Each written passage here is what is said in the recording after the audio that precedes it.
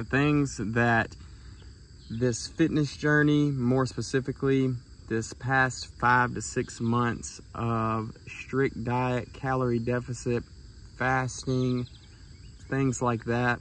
It's what this is what it has taught me.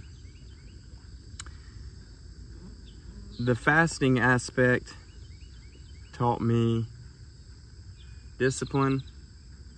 It made me aware of that we're really just in a habit to eat and that we have an eating addiction more than we need the food.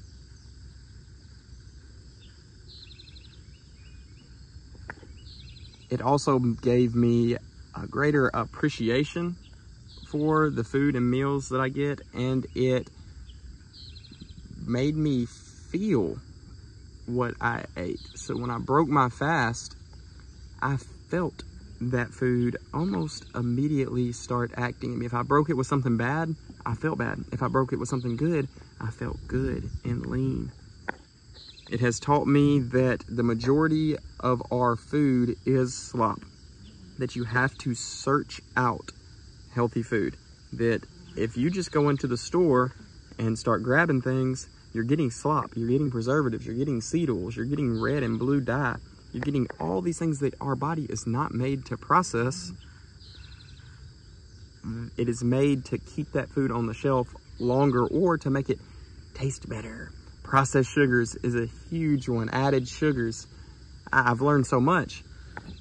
I learned that my body leans way more towards the lean side Uh, of, I'm a natural cutter, so I lose weight fast.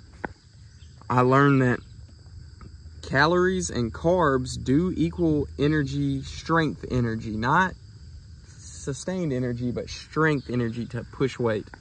I learned that your appearance definitely makes people treat you differently. Now that I have, what I say, a new body, a new aesthetic, new energy, new thoughts, new ideas, now that I'm new, people definitely treat me differently. Um, men normally have the reaction of either they're like proud of me or impressed or that, or they think, oh, well, just because you look like this and just because you did that don't mean you can whoop my ass or don't mean you're better. I'm like, bro, I never said any of that. I definitely have a different effect on people. And I've learned a lot about myself. I think I learned that if I really want to do something, I can do it. Whether I'm going to be glad that I did it or not, it's a different question. But if I want to do something, I can make it happen. The only problem is now is I don't always know what I want to do.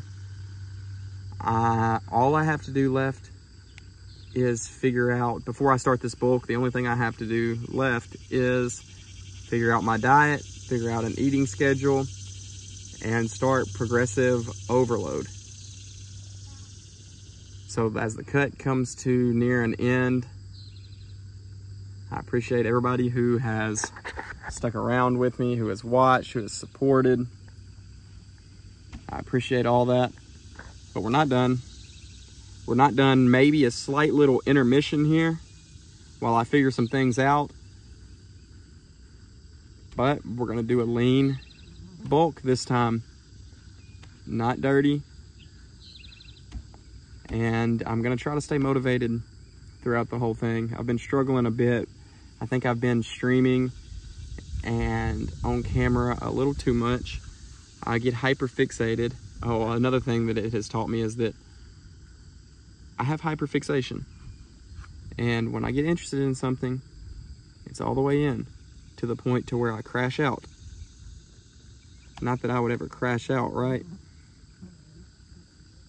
But uh, the past couple days I've been struggling a little bit, but we're getting back right we're not going to fall off into degeneracy. We are going to continue to grow and mold our body and our mind and we are going to get better. Use this video as proof.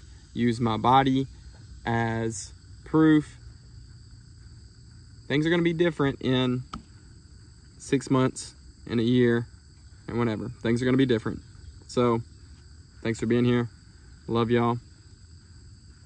Peace.